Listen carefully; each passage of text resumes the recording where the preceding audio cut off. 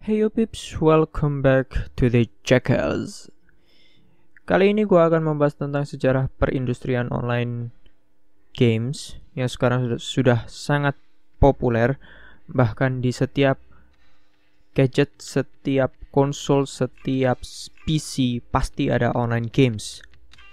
So, mari kita buka bacot bareng Jackals yang kali ini gua namai evolusi industri online games.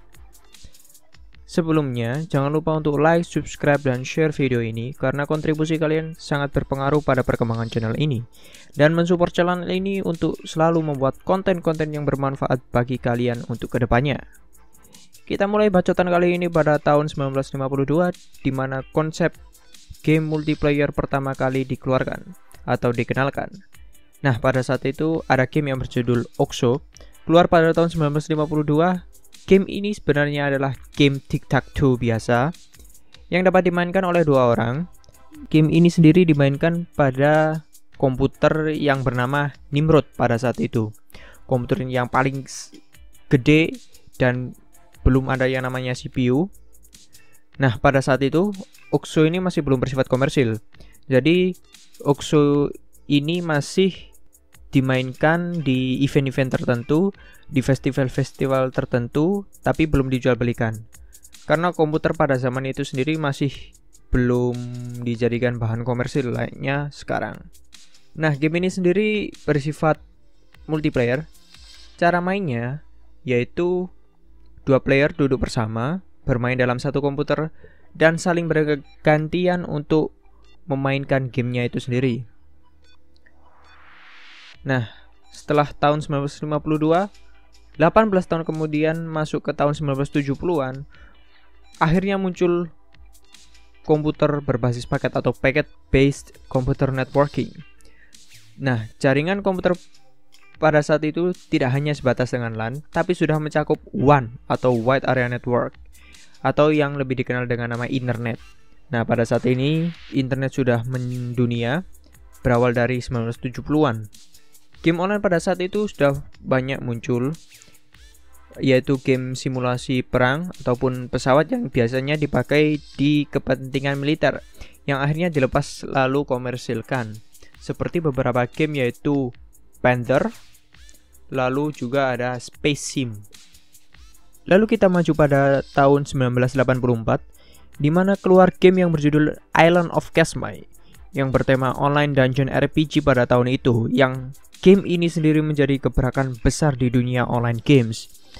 Game ini sendiri adalah game scrolling text yang menggambarkan peta dari lokasi player dan ditambahi fitur chat pada saat itu yang masih belum ada game yang menggunakannya.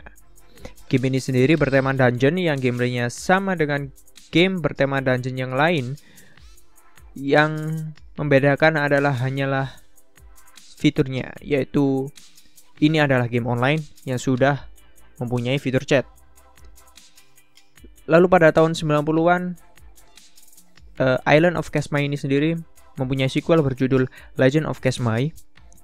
Dan pada segi grafik, gamenya sudah dua dimensi.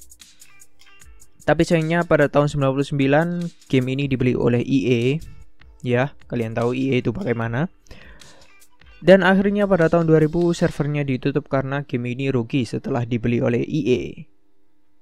Dan Island of Casma ini sendiri menjadi uh, game pertama PC yang uh, full online menurut gua dan dengan fitur-fitur chat ini sebagai uh, cikal bakal game-game yang sekarang yang juga mempunyai fitur chat bahkan voice chat.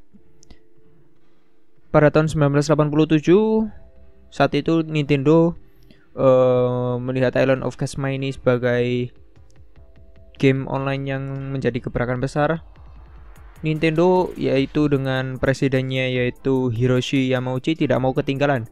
Dia pun mulai berpikir untuk membuat network system pada Super NES yang mana player harus menggunakan modem untuk memainkannya. Project SNES ini sendiri dipimpin oleh Masayuki Uemura yang mana berhasil mengembangkan konsol SNES yang disambungkan dengan modem untuk dapat terkoneksi langsung dengan internet. Tapi sayangnya pada saat itu game yang dihasilkan itu cuma 5. Akhirnya proyek ini pun hilang entah ke mana.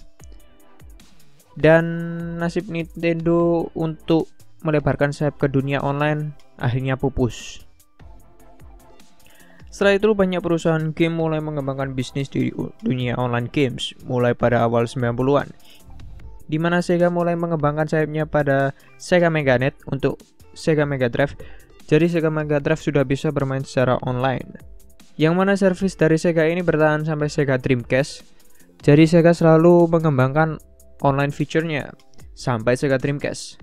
Lalu pada tahun 99, Nintendo kembali bangkit dengan mengeluarkan add on untuk Nintendo 64 yang dinamai Nintendo 64 DD dan hanya dikeluarkan di Jepang saja yang mana menawarkan layanan e-commerce pertama di dunia online games. Dan ini menjadi gebrakan pertama dari Nintendo untuk e-commerce itu sendiri. Karena masih itu pada saat itu masih belum ada uh, online store ataupun e-commerce yang menjual game secara online ataupun item game secara online uh, tidak seperti saat ini. Nah, pada saat akhir 90-an sendiri, PC juga mulai berkembang dengan banyaknya games bertema MMORPG yang keluar mulai dari Ultima Online, Lineage, dan juga EverQuest para PC. Masuk pada era 2000-an, Sony tidak ingin ketinggalan dengan kesempatan online games ini dengan menyematkan fitur online pada PS2 yang mana pada awalnya masih kalah fitur dengan yang dimiliki oleh Nintendo GameCube. Tapi dengan seiring tingginya permintaan PS2 pada saat itu, online fitur pada PS2 dapat mengalahkan Nintendo. Dan konsol ini menjadi titik balik bagi Sony untuk bangkit dari keterburukan PS1 yang mulai kehilangan peminat setelah adanya GameCube. Tak lama setelah itu muncullah Microsoft dengan membawa konsol yang sangat gede yang bernama Xbox di mana di dalamnya sudah ada Xbox Live. Xbox Live sendiri adalah fitur online yang berguna untuk saling terhubung dengan player yang lain dan juga berguna untuk kegiatan e-commerce. Jadi di Xbox Live itu menggabungkan komunikasi dan juga layanan pembelian item atau game secara online.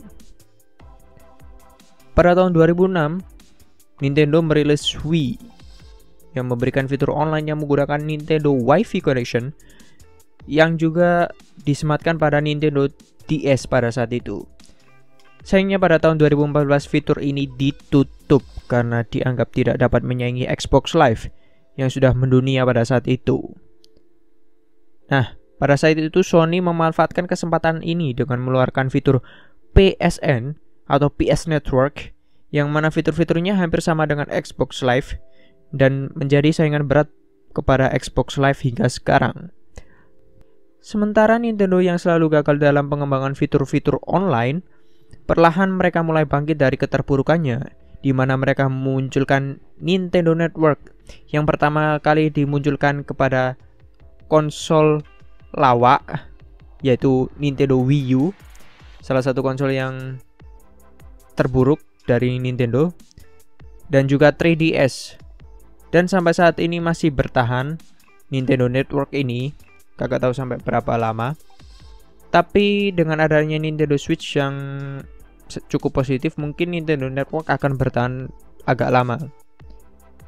Nah Berbicara masalah PSN, Xbox Live, dan Nintendo Network, kita nggak bisa ninggalin yang namanya Steam. Ya, sama yaitu salah satu aplikasi yang menawarkan e-commerce juga dan komunikasi antar pemain PC. Steam sendiri adalah salah satu aplikasi yang menunjang perkembangan dunia online games di PC, mulai dari distribusi games secara online di mana pemain bisa membeli, menginstal, bahkan mengupdate games pada aplikasi ini. Nah, untuk tentang sejarah Steam ini sendiri akan gua bahas pada video selanjutnya.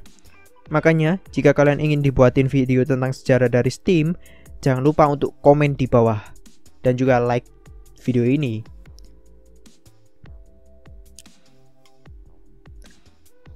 Mungkin sekian saat ini untuk video ini. Jangan lupa pips untuk selalu like, subscribe dan share video ini kepada teman-teman kalian ataupun komunitas kalian karena kontribusi kalian adalah semangat gua untuk membuat konten-konten selanjutnya. Last word untuk kalian para online gamers. Janganlah kalian lupa sejarah di balik online games yang kalian mainkan saat ini. Karena semuanya berawal dari nol. Terima kasih, sampai jumpa lagi di video Jack Hells selanjutnya. Bye.